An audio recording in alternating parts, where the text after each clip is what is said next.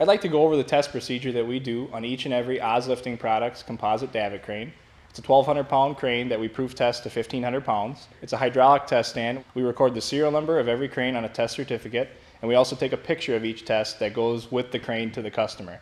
So when you receive the crane, you'll have proof that each and every crane has been individually tested. Let's take a look at a proof test being done on a composite davit crane.